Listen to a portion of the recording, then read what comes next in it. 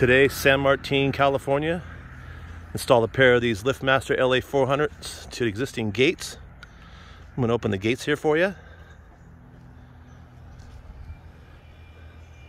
There's control box. We got the safety monitoring there. Beam, block the beam, it's gonna go red.